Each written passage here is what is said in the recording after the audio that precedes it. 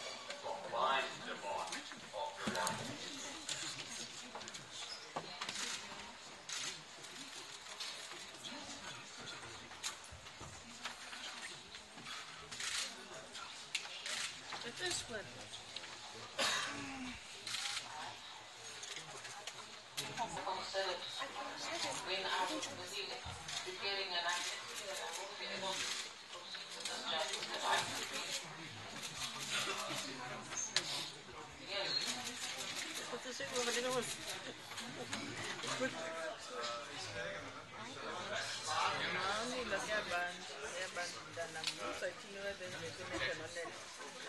beyond I see what you mean. Yeah, that guy is wearing a today.